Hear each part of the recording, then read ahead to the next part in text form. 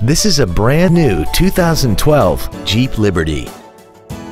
This SUV has a four-speed automatic transmission, a 3.7-liter V6, and the added capability of four-wheel drive.